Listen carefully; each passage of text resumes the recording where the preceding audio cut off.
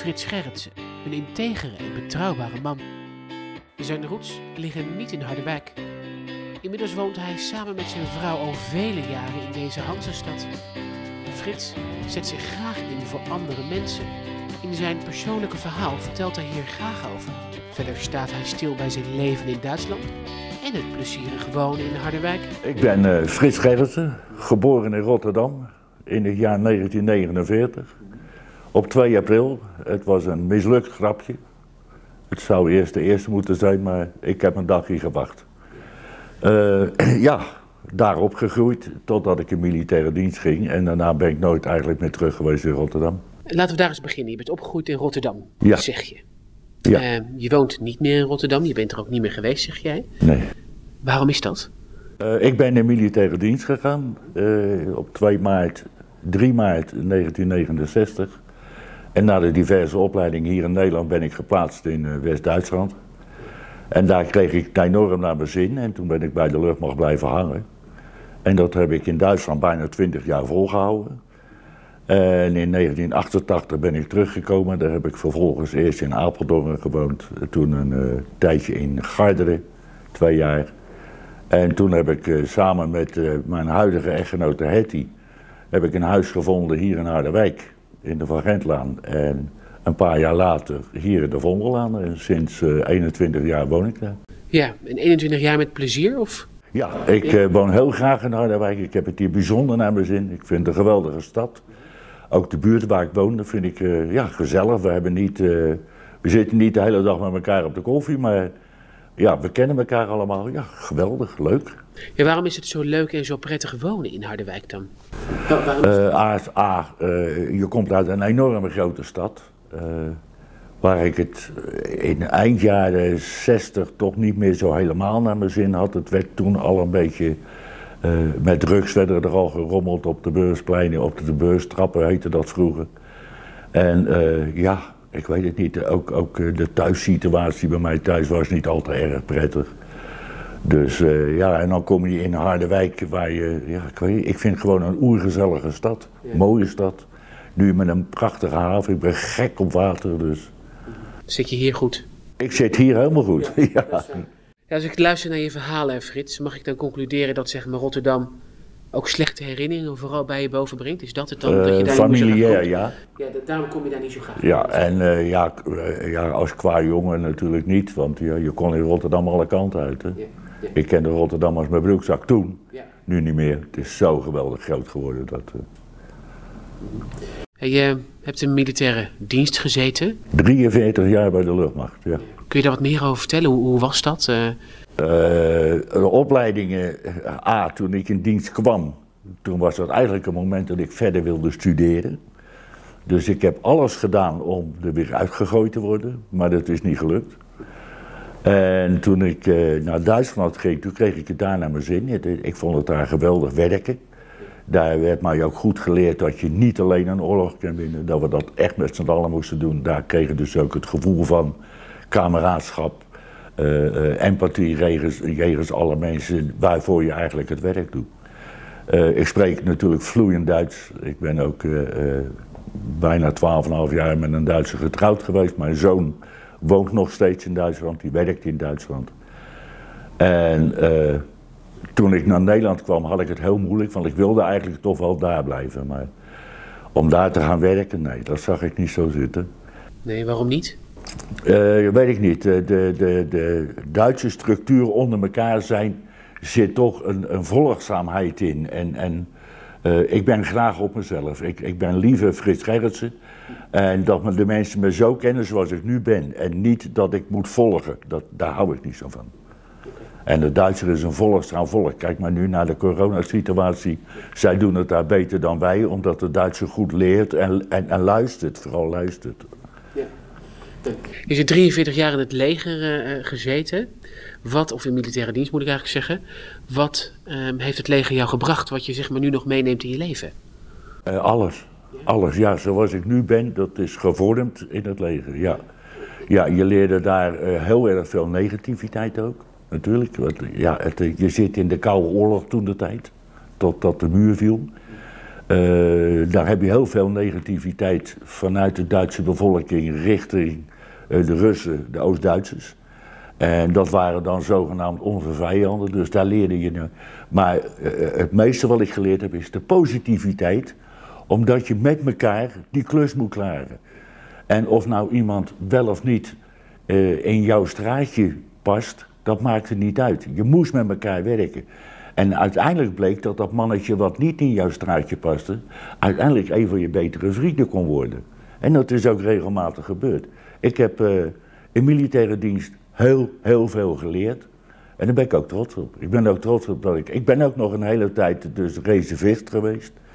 Uh, ja, dat deed ik met plezier. Ik, ik was een aangezien figuur, mag ik zeggen, als sergeant-major was ik een aangezien figuur voor de soldaten binnen de reservisten. Ja. Even voor de mensen hoor, want je spreekt in één keer over reservist. Uh, kun je uitleggen voor de mensen die niet weten wat het is? Een reservist is een, uh, is een militair die gewoon normaal zijn gezin heeft, zijn werk heeft. En in zijn vrije tijd militairtje speelt. Daar ook voor opgeleid was. Ze krijgen terdege opleidingen. Ik heb zelf de opleidingen gedaan binnen de nucleaire, biologische en chemische strijdmiddelen. Waarin ik een expert ben geweest.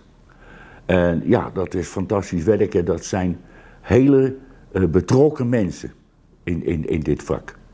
Ja, dat heel, heel leuk om mee te werken. Binnen de landmacht heb je die, hè, de, dus de, de, de natres. En binnen de luchtmacht is dan de luchtmachtreserve.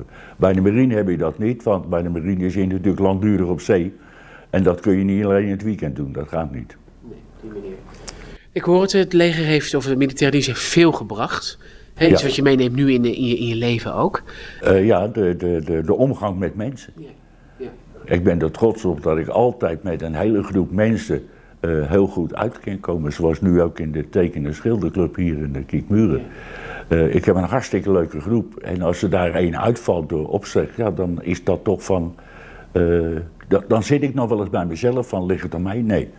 Uh, ligt het aan anderen? Nee, het zijn de mensen die het zelf doen. Maar ik, ik, doe dat graag. Ik mag graag met mensen omgaan, zolang mens binnen de piketpalen blijft van elkaar vertrouwen, respecteren, empathie, jegens elkaar, ergens maar door. En dat zijn weer die basisbeginselen die je eigenlijk vroeger hebt meegekregen ja. in die 43 jaar. Ja, ja, daarvoor heb je een stuk je ouderlijke opvoeding.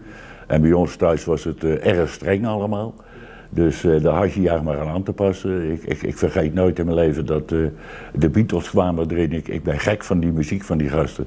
Maar die hadden van die mooie lange ponies. Dus ik deed dat ook. En uh, zo liep ik de deur uit. En toen zag mijn vader dat. En de volgende, de volgende dag had ik bijna een kale kop. Van.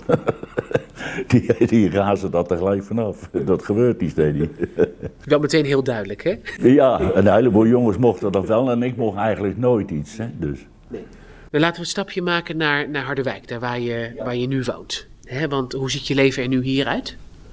Nou ja, gepensioneerd, rustig. Maar ik moet zeggen, als ik nou kijk wat ik per dag als gepensioneerde doe, dan vraag ik me af hoe heb ik in godsnaam die 43 jaar luchtmacht er nog bij kunnen doen. Want ik ben eigenlijk de hele dag druk ergens mee. Ik uh, teken de schilderclubje heb ik, ik doe aan schietsport Waar ik dan ook nog een keer uh, trainer ben, hoofdtrainer ben. En, en, en daar heb ik het heel druk mee. Uh, ik ben trainer-coach van een, uh, van een team, wat, wat, wat district 2 van Nederland. Dat is dan Gelderland, Flevoland en Utrecht. daar, daar, daar train ik de toppers van, van Nederland, van die, dat district. En daarmee ga ik naar wedstrijden. Ja, ik ben altijd bezig. De thuis, thuissituatie mijn, mijn vrouw Hetty, die, eh, die is met, met kaarten maken heel druk. En uh, ja, ik heb dat schilder, maar dat doe ik thuis al niet eens, want ik kom er niet eens aan toe. Nee, zoveel heb je te doen Ja, eigenlijk. ik ben eigenlijk altijd bezig. Ik vind het ja, leuk. Zou je anders willen, Frits, dan altijd bezig zijn? Nee. Nee, ik heb wel eens zo'n dag dat ik zeg, nou zou ik ook wel een uurtje willen uitslapen. En dat doe ik dan maar op zondag. Maar ja, nee. nee als het goed voelt, voelt het goed. Hè? Dat is eigenlijk het belangrijkste. Hè? Als je maar bezig Ik denk dat je. Als je kijkt naar de, de, de ruige tijd die ik heb meegemaakt in Duitsland. Want ik moet eerlijk bekennen, er werd aardig wat weggesloppen daar. En, uh, en je rookte, want het waren, ja, het waren zenuwachtige tijden, nerveuze tijden. Waarin je eigenlijk nooit wist waar je toe was. En uh, ja, dat houdt op een gegeven moment hier in Nederland houdt dat wel op. Maar er zijn er een heleboel die zijn al ver voor mij gaan hemelen. Dus, uh... Ja. ja, dan komt door die beslissing eigenlijk dat je eigenlijk het leven volledig gaat opbouwen in Harderwijk. Dat je stopt met, uh, met militaire dienst. Ja. Hoe kwam dat besluit? Uh, nou ja, gepensioneerd. Ja, je, je moest eruit, zeg maar. Uh, Ja, je ik- mocht eruit. Ja, is, eh, ik mocht eh, met eh, 65, eh, want ik was burgermedewerker, die moet tot 65. En ik ben van voor 1950, dus ik ga met 65. Doordat Hetty een heel zwaar hartinfarct kreeg, mocht ik een jaar eerder weg. Eh, omdat mijn opvolger reeds binnen was en die had ik goed ingewerkt, dus dat kon. En eh, ja, toen ging ik met pensioen. Ik begin erg wennen. Want ja, ik was gewend heel vroeg op te staan, vroeg naar mijn werk, dat ik ook weer een beetje bij thuis was voor mijn andere hobby's. En ja, maar nu ben je met pensioen en nu ben ik er al gewend. Dan zeg ik, ja leuk, ik, ik verveel me nooit. Nee, je woont fijn in Harderwijk met Hetty. Ehm, kun je Hetty omschrijven? Als je Hetty zou moeten omschrijven, wat zou je dan over je vrouw aan ons willen vertellen? Een geweldig mens, eh, heel erg betrokken, ook altijd met andere mensen. Eh, je eigen oma was altijd een hele, is een hele goede vriendin van haar. Die, eh, die, komt, die kwam altijd bij ons maandags hobbyen. Helaas nou natuurlijk ziek en dat gaat allemaal niet zo. Maar ja, ze is altijd bezig met andere mensen. Ze is heel lief, heel aardig. Ja, een betrokken mensje ook. En ja, met een hobby, ja, da- daar kan ze duizenden kanten mee uit. En dat doet ze ook. Ja, en als Hetty jou zou omschrijven, wat zou Hetty dan vertellen als ze hier zou zitten? Durf ik niet te zeggen. nee, ja, Heb je er nooit over nagedacht? nee, daar heb ik nooit over nagedacht. Nee, we kunnen gewoon goed met elkaar. We zijn met z'n tweeën, ja, met een hondje nog erbij. Eh ik zeggen, mijn zoon woont in Duitsland en daar hebben we niet zoveel contact mee, omdat die afstand, en nu zeker met corona, want ik mag Duitsland niet eens in. Dus eh, ja, ik denk dat Hetty mij omschrijft als een, eh, eh, ze zeggen het wel eens, als een, als een harde, ijskoude vent. Maar dat komt waarschijnlijk door alles wat ik heb meegemaakt. En dat ik niet kan, ik kan niet accepteren dat mensen op een bepaalde manier negatief naar anderen overkomen. En als ze dat tegen mij doet, kan ik heel hard uitvallen. Maar dat is niet mijn bedoeling, dat zit niet in mijn karakter. Eigenlijk wil ik dat niet, maar ja, hoe zou ik dat zeggen? Mekaar beleren. Ook een stukje Ja. vorming wat je, wat je, wat je meeneemt. eh, Ja. We kunnen hartstikke goed met elkaar en, eh, en we hebben het ook hartstikke goed samen. Dus, eh, dat is fijn. Je komt, als je zo meteen weer naar huis gaat, kom je gewoon echt thuis, zeg maar. Ja, ja, er zit gewoon een hele fijne vrouw op je te wachten die, Zeker die je graag weten. ziet. Nou, dat is, dat is wel fijn om te horen. ja. Even het stapje naar de wijkvereniging, want dan ben je natuurlijk vrijwilliger. Hè, verantwoordelijk voor de teken- en schilderclub. Hoe is dat gegaan? Nou, dat weet ik niet. Ik was eigenlijk, eigenlijk zat ik thuis en dan denk ik, ik zat te tekenen of zoiets. En zegt mijn vrouw, of heet die zegt van, joh, eh, binnen, zij was al lid van de wijkvereniging. Eh, omdat hier ook altijd van, van, van, van die hobbybeurzen waren en zo. En, en rommelmarkten en zo. Bedoel, zij was daar al lid van. Toen zegt ze, waarom ga jij? Toen had ze in een boekje gelezen van Hans Vermeulen van, joh, eh, tekenen en schilderen. Toen zegt ze, dat niks voor jou? Dat lijkt me wel leuk. Ik zocht altijd wel iets erbij. En eh, uiteindelijk zeg ik, ja, eigenlijk is het toch te veel geworden. Maar... En toen ben ik dus hier eens wezen kijken. Ja, dinsdag kan ik niet, want dan, eh, en op woensdag kon ik niet. En op vrijdagmorgen, ik nou, ga ik toch eens kijken, ben ik geweest. Nou ja, ik kan alleen maar zeggen, ik heb het hartstikke naar mijn zin gekregen. Ik ben ongelooflijk goed bevriend geraakt met Hans en zijn vrouw. Eh, we gaan nog wel eens met z'n vieren, nu niet, maar met z'n vieren wel eens uit eten. Dat is hartstikke gezellig. En ik heb heel, heel, heel veel van hem geleerd. En dat breng ik nu. Ik ben geen docent in deze klas. Eh, eh, ik wil het wel gaan doen. Maar ik vind nog niet dat ik goed genoeg ben om het ook over, wel om het over te brengen, maar om het ook te laten zien. Ik moet nog even iets meer leren. En dan wil ik dat waarschijnlijk wel doen. Ben, ben je daarmee bezig om, om beter te worden in tekenen, begrijp ik, ja? ja, ja. Ik ben altijd aan het zoeken om. eh, misschien is dat ook wel wat Hetty zou zeggen, een te grote perfectionist. Het, het moet altijd goed zijn. Ja. Ik kan niet eh, iets half afgemaakt. eh, of ik gooi het gelijk in de vuilnisbak, of ik maak het af. Ja, het moet mooi zijn, eigenlijk perfect Ja, moet het ja. zijn. Ja. Ja. Even voor de mensen, Hans Vermeulen is natuurlijk eh, eh, degene die de tekenclub heeft begeleid Ja. voor jou. Hè? Je hebt eigenlijk zijn groep overgenomen omdat hij eigenlijk qua gezondheid klaar was. Hè? Dat is eigenlijk wat, ja, toch? Ja. Ja. Hey, nu sta je al een poosje voor deze groep. Ehm, met heel veel plezier hoor ik. ja. Ehm, wanneer komt het moment dat je zegt: Ik ben nu goed genoeg om eigenlijk geen begeleider meer te zijn, maar ook docent? Ik hoop volgend jaar. Ja. Ja, dat denk ik wel. Ik, heb mijn jongste broer Ed, dat is een eh, geweldige kunstenaar op het gebied van schilderen. Eh, hij heeft een eigen website waar hij dat ook laat zien. En als ik met hem praat, ja, leer ik ook ontzettend veel. Maar hij is meer met rechtlijnig spul bezig. Dus eh, de drie koningen in diverse vormen en ga zo maar door. En eh, ik ben meer van ja, veel kleuren. Echt kleurrijk kunnen schilderen. Mijn hondjes heb ik geschilderd met een heleboel kleuren eromheen. En ja, dat vind ik leuk. En aparte dingen. Dus. En, eh, maar ik leer veel van hem en ik heb heel veel van Hans geleerd. Ja. Hoe moeilijk is tekenen en schilderen? Dat ligt eraan of je wel of geen talent hebt. Ik denk als je talent hebt, als je bijvoorbeeld beneden in de groep zie je een aantal mensen die uh, getalenteerd zijn begonnen en zich hebben ontwikkeld in die tijd met Hans en nu zelf. Want uh, we hebben er een gehad, nou die had schilderijen wel zo verschrikkelijk mooi. En die hebben we al geprobeerd te peilen of die niet als docent wilde gaan werken. Maar die is tijdelijk nu de vereniging uit, omdat vanwege de corona met schoonouder, schoonmoeder en eigen moeder. Ja, te gevaarlijk. Hè, risicofactoren, daar moet je mee oppassen.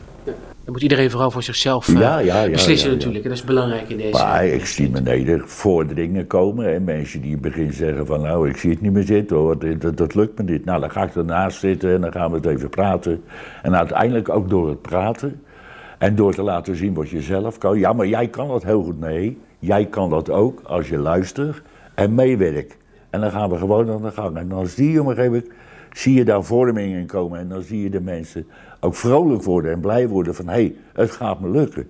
En dat is waar ik naartoe wil werken, dat de mens uh, lachend de deur uit gaat. Ja, nu heb je geen talent, hè? want dat kan natuurlijk ook. Hè? Je hebt geen tekenschilderknobbel, hè? laten we het zo maar even noemen. Kun je het dan, kun je het dan wel leren? Uh, ja, maar dat duurt wel erg lang. Maar je kunt natuurlijk ook gaan kijken of er niet een, een bepaalde vorm van schilderen of tekenen bestaat waarin jij met geklungel toch hele leuke dingen. Kijk naar een Karel Appel. Uh, uh, kijk naar een Herman Brood. Eigenlijk wat hij stond te doen, dat was met een paar spuitbussen iets geks om een doek doen. En het leven, ik weet niet hoeveel geld op. En dan zeg ik, ja, nou ja, als je het mooi vindt, doe dat. Ja. maar, maar je moet de mensen daartoe weten te animeren. En dat is niet lastig. Ik, tenminste, niet voor mij. Voor andere mensen misschien wel. Ik ken mensen die uh, gedreven zijn, kunstenaars zijn maar uiteindelijk niet in staat zijn om iemand te leren hoe dat je het precies moet doen. En dan vaak ongeduldig worden. En dan heb je de mens gelijk tegen je. Dat moet je juist niet. Je moet ze proberen mee te trekken. Ja. Dat lukt me aardig. Hè, beneden, dat weet je. De, het is een hartstikke toffe groep. En, uh, ja. Als ik een uh, één week heb dat ik niet een grap vertel, dan zeggen ze ben je ziek vandaag. Dus uh, ja. ja. Ja, mooi bruggetje, want, want je, je omschrijft jezelf eigenlijk, want ik ken je zo niet als, als, met een hard karakter. Hè? Nou, je bent, ik zou het meer omschrijven als duidelijk. Hè? Je, bent gewoon, je weet meteen waar je toe bent als ja. je jou ziet. Ja. Nee, en nou, maar krijg je gewoon een hele mooie, want ik hoor je eigenlijk ook altijd grapjes maken. Hè? Je, je, houdt van humor. Ja, ik, uh, ik ben een absolute topfan van André van Duin, die ik ook persoonlijk goed kende. En uh, dat is heel lang geleden natuurlijk, praat ik over 1964, 65. Maar ja, dat zijn de mannen. Uh, Tommy Cooper. Uh, ik ben gek voor. Ik heb vroeger zelf ook altijd op podium gestaan. Niet alleen als muzikant, maar ook als komiek. Uh, ik had een eigen cabaretgroep vroeger toen ik nog jong was. En clowns. Ik wilde vroeger als kleine jongen altijd clown worden. Want dat vond ik mooi. Met die grote rode neus en een grote mond. En die grote mond is gebleven, die rode neus niet. maar ja, ik, ik hou enorm veel van humor. Ik, ik zie mensen graag lachen. Ik zeg nog maar, als, je, als een mens die niet lacht, mist zo verschrikkelijk veel in zijn leven. En het is gezond, hè. Het rek je middenrif op en dan blijft alles lekker doorpompen. Maakt het het leven ook makkelijker met een beetje humor, uh, Frits? Zeker te weten. Ja, ja ik denk dat als je uh, lachend naar alles kijkt, dat je veel beter uh, in staat bent om, om op bepaalde dingen te anticiperen. En om ook bepaalde dingen van andere mensen te gaan begrijpen. Ja. Maar dus zeg ik, het moet ook niet uit de spuig gaan. Want ik heb ook wel tijden gehad dat ze zeiden: ik wou dat je nou eens een keer vijf minuten je mond dicht hield. Eh, want ik ben toch altijd wel bezig. Ja. ja, maar je hebt geleerd om de balans te vinden, zeg maar. Ja, ik kan heel goed balanceren. Ik kan heel goed uh, uh, uitrekenen waar ik op dat moment naartoe moet of waar ik ben. En, en als ik dat samenkoppel en ik zie dat als verleden, dan zie ik dat graag als verleden. Want dan weet ik, daar zit een stuk humor in, er zit een stuk seriositeit in en er zit een stuk leermethode in. Ik ben gek op studeren, ik ben gek op leren, maar ook op beleren. En mensen die het moeilijk hebben, daar ga ik mee praten. En dan heb ik, ja, ik, ik, ik heb dingen op psychologisch gebied gestudeerd.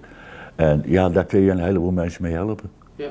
Ik studeer nog steeds, dus. Ja. Het leven is één grote studie misschien wel. Ja, Toch? ik denk dat je niet uitgestudeerd raakt. En als je dat wel doet, dan eh, heb je jezelf. Want de wereld om je heen gaat steeds sneller. En als je niet meegaat, dan blijf je ergens op een zijspoor staan en dan kom je nooit meer weg. Nee. En dat vind ik altijd weer jammer. Laat de mensen meedraven, kom. Pak het op, eh, maak een grap, eh, begin te lachen. eh. Maar weet ook de serieuze kant van het leven ook goed te bekijken. Dat is zo belangrijk. Ja, de, de balans, hè, dat is, Ja, eh, ja, ja, hè, dat is waar het leven om gaat. Ja, Ik denk dat dit een mooi moment is om met elkaar af te sluiten, eh. Frits. Ik denk dat we een stukje meer van je weten. ja. Eh, dus dank daarvoor. Niks te danken. Fijn dat je hier wil zitten. En ik hoop dat je nog heel lang, zeg maar, jouw, jouw energie, jouw, jouw humor, jouw plezier, maar ook je duidelijkheid, nog kunt toepassen binnen de wijkvereniging. Ik hoop het ook. Ik heb getekend voor 102, dus Nou, ga, gaan we daarvoor. Gaan we daarvoor. Ja, doen we.